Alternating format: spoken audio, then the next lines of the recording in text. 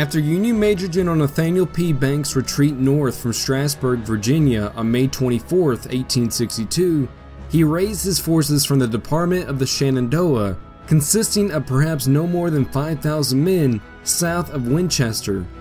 His line stretches for about two and a half miles from Camp Hill on the southeast edge of the town to Bowers Hill, southwest of Winchester. The confidence his men have in him is reassuring, but Major General Banks still faces a difficult situation on the morning of May 25th. Not only is he greatly outnumbered, as Confederate Major General Stonewall Jackson can count on probably close to 16,000 soldiers, but the town of Winchester also lies directly in the Union rear. And so, any retreat through the town streets would potentially be restricted. Next, his men are exhausted. For example, two regiments that had been part of the rear guard, the 2nd Massachusetts and 27th Indiana, had marched upwards of 30 miles on May 24th. Finally, because so many of his supply wagons have been captured or destroyed by the Confederates, Banks' men have little to nothing to eat. Jackson's army, which has been renamed the Department of the Valley, begins the opening actions of the Battle of Winchester at first daylight on May 25, 1862. Stonewall Jackson divides his command. He takes part of his force and advances along the paved Valley Turnpike, while Major General Richard S. Ewell guides his men on the Front Royal Road to strike the Union left atop Camp Hill. Brigadier General Isaac Trimble's brigade attacks the Union troops atop Camp Hill first advancing through a heavy morning fog to be greeted by rifle fire from Colonel Dudley Donnelly's 1st Brigade of Brigadier General Alpheus S. Williams' 1st Division. Troops from Donnelly's brigade, comprised of the 5th Connecticut, 28th New York, and the 46th Pennsylvania, have a clear field of fire against Trimble's brigade as it advances up Camp Hill. Colonel Trimble's lead units, the 21st North Carolina and 21st Georgia Infantry Regiments, whom Trimble refers to in reports as My 221st, bear the brunt of the destructive federal volley fire. Initially, the 28th New York and 46th Pennsylvania deliver a successive series of well-aimed rifle volleys into the attackers. But as the 221st get closer, the 5th Connecticut, directly in the path of the attackers, rises up from the ground before delivering a destructive volley the Connecticut men then fix bayonets and surge down the hill and send Trimble's men fleeing.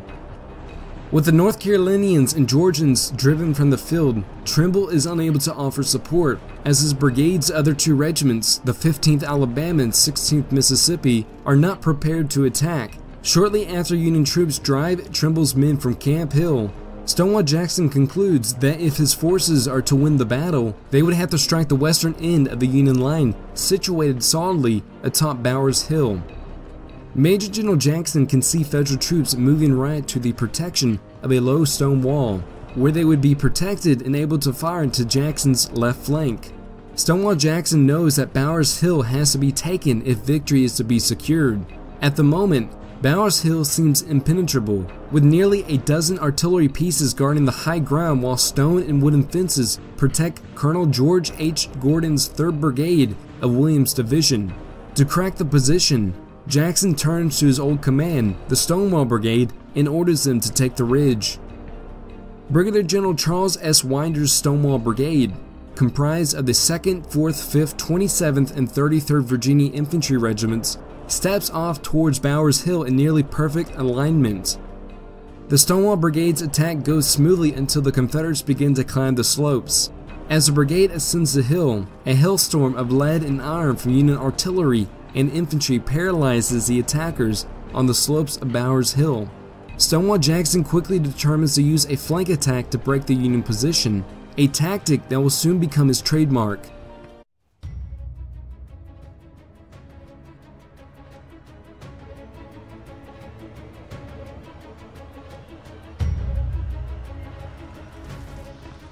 To turn Major General Banks' right flank, Jackson chooses Brigadier General Richard Taylor's Louisiana Brigade. General Taylor marches his men westward along Abrams Creek to a point where it merges in a hollow depression. There, he is joined by two regiments from Brigadier General William B. Taliaferro's brigade, currently commanded by Colonel Samuel V. Fulkerson, the 10th Virginia and 23rd Virginia. The Confederate force readies itself for the flank attack, all the while exposed to Union artillery and musket fire. As bullets and shells rained down, many Confederate soldiers try their best to avoid being struck. When Taylor notices some men dodging the fire, he yells profanities at them, condemning their behavior. Jackson, who's nearby, hears the cursing, glares in a disapproving manner, and tells Taylor that he is a wicked fellow. With artillery support, Taylor's men surge forward. The attack commences at approximately 7:30 a.m. and quickly gathers momentum. As Taylor's men bear down on the Union right flank, General Banks' cavalry strikes Taylor's left. However, Lieutenant Colonel Francis T. Nicholls' 8th Louisiana Infantry Regiment repulses the Union horsemen. The Union soldiers fire, the Federal artillery belches canister, but the Louisianians simply fill in the gaps and stubbornly press on. Soon other Confederate soldiers join in the attack, forcing Banks' soldiers to take to their hills and flee for safety. While the rout of Union forces develops on Jackson's left, Ewell finally breaks the left end of the Union line on Camp Hill. By 8:30 a.m., Jackson has defeated Banks' army.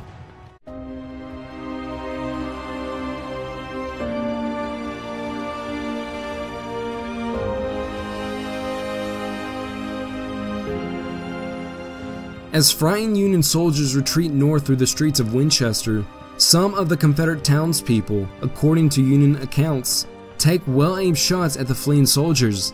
Joining the retreat are some of Winchester's Union sympathizers who do not want to be subjugated to a Confederate occupation.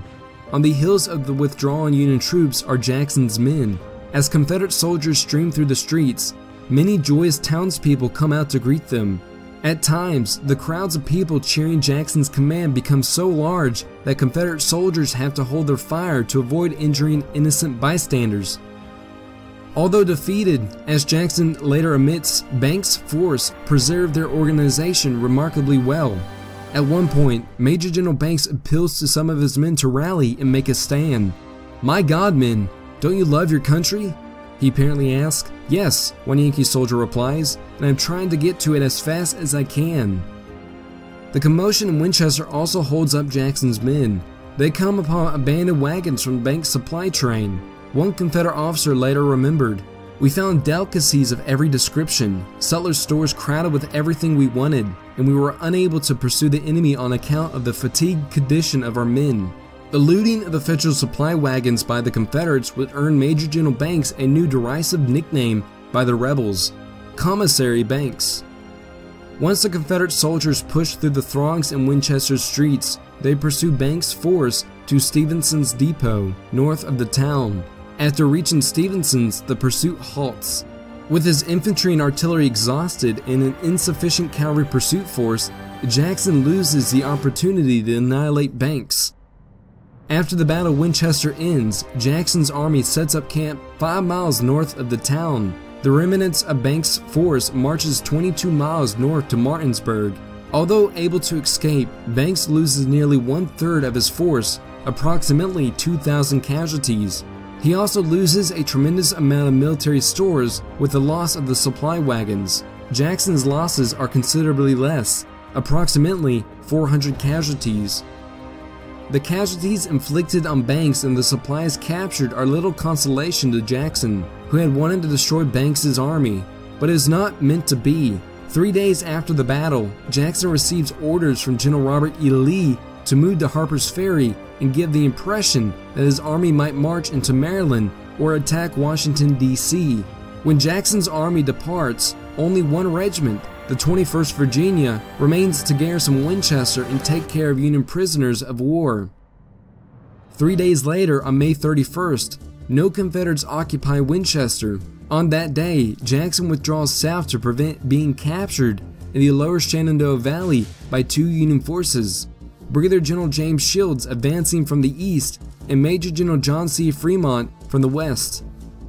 Even though Jackson is unable to decisively crush Banks at Winchester and has to abandon the town less than one week after taking it, Jackson's victory at the Battle of Winchester, which would be the first of three major battles fought in the town, greatly benefits the Confederates under General Joseph E. Johnston, who are defending Richmond from Major General George B. McClellan's push on the Confederate capital via the Virginia Peninsula.